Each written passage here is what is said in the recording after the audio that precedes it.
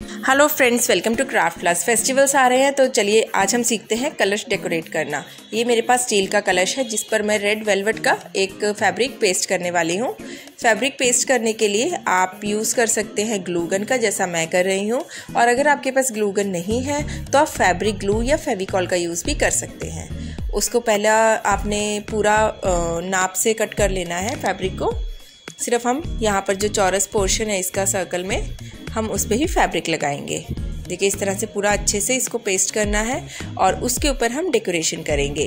अभी फेस्टिवल्स आ रहे हैं, जैसे करवा चौथ आ रहा है, नवरात्रे हैं और आगे दिवाली आने वाली है तो उन सब ओकेशंस के लिए हमें कलश की जो ज़रूरत है वो पड़ती रहती है। तो इस तरह से हम लोग कलश को डेकोरेट कर सकते हैं। आने वाले सीज़न में वेडिंग सीज़न स्टार्ट हो जाएगा तो उसमें भी हम लोग इसी तरह से कलश को डेकोरेट कर सकते हैं।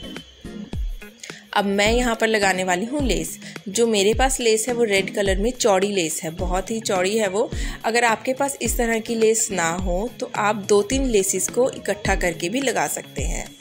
देखिए, ये बिल्कुल एक चौड़ी लेस है और आप इसे दो लेसिस या तीन लेसिस को इकट्ठा करके भी बना सकते हैं। और आप प्लेन इसमें गोल्डन कलर की लेस भी लगा सकते हैं, वो भी बहुत प्यारी लगेगी। इस तरह से आप ग्लूगन की हेल्प से इसे पेस्ट कर दें। मैंने नीचे चौड़ी लेस लगाई है ताकि जो भी हमारी पेस्टिंग या एक्स्ट्रा कपड़ा हो वो पूरी तरह से छिप जाए। देखिए, इस तरह से इसे लगा दीजिए। उसके बाद हम और डेकोरेशन शुरू करेंगे। बहुत ईजी है इस कलश को बनाना। आप को सिर्फ़ फैब्रिक की ज़रूरत है और कुछ लेसेस चाहिए। ये मेरे पास एक कलरफुल लेस है और इसे मैं ऊपर की साइड लगाने वाली हूँ। इस तरह से हमारा ऊपर नीचे दोनों तरफ़ से फैब्रिक अच्छे से लॉक हो जाएगा और डेकोरेशन बहुत सुंदर लगेगी।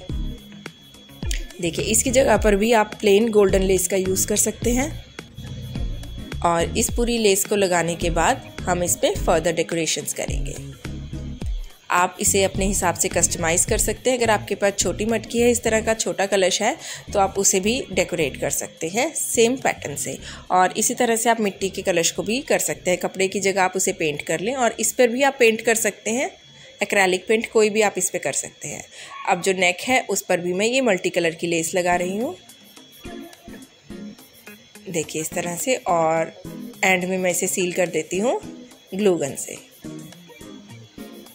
देखिए, ग्लूगन का जो लिंक है, वो मैं आपको डिस्क्रिप्शन बॉक्स में दे दूँगी। अब हम थोड़ा सा इस पर मिरर वर्क करेंगे ताकि इसमें एक ट्रेडिशनल लुक आए और बहुत ही प्यारा, ये बहुत ही सुंदर एक फेस्टिवल लुक इसमें आ जाए। और इसमें मैं जो बीच में डिस्टेंस है, वो अपनी फिंगर को मेजर करके रख रही हूँ, ताकि हम बिल्कुल इक्वल प्रोपोर्शन पे इसे लगा सकें। आप चाहें तो सर्कल मिरर्स का यूज़ भी कर सकते हैं और साइज़ बड़ा या छोटा ले सकते हैं। और मिरर से बहुत ही सुंदर लुक आ जाता है जब भी आप कोई ट्रेडिशनल काम करते हैं, अपने घर को डेकोरेट करने के लिए या कोई ऐसी चीज़ डेकोरेट करने के लिए जो आप फेस्टिवल्स के लिए या वेडिंग्स के लिए बना रहे हैं। अगर आपके पास मिरर्स नहीं है तो आप अपने पास में जो भी लोकल क्राफ्ट शॉप्स होती हैं, बच्चों की स्टेशनरी शॉप्स होते हैं ईजिली मिल जाती हैं और अगर फिर भी ना मिले तो आप मोतियों का यूज़ भी कर सकते हैं। देखिए, ये लग गए हैं।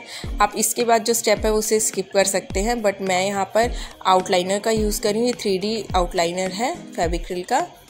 और इस तरह से मैं इसमें डिज़ाइनिंग कर रही हूँ। आप चाहें तो बॉल चेन लगा सकते हैं, इसके पास डायमंड चेन भी लगा सकते हैं इन मिरर्स के आसपास।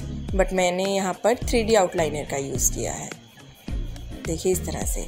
और आने वाली वीडियोस में मैं आपको दिखाऊँगी दिवाली से रिलेटेड बहुत सारी ऐसी वीडियोस जो आपके बहुत यूज़फुल होंगी आपके लिए।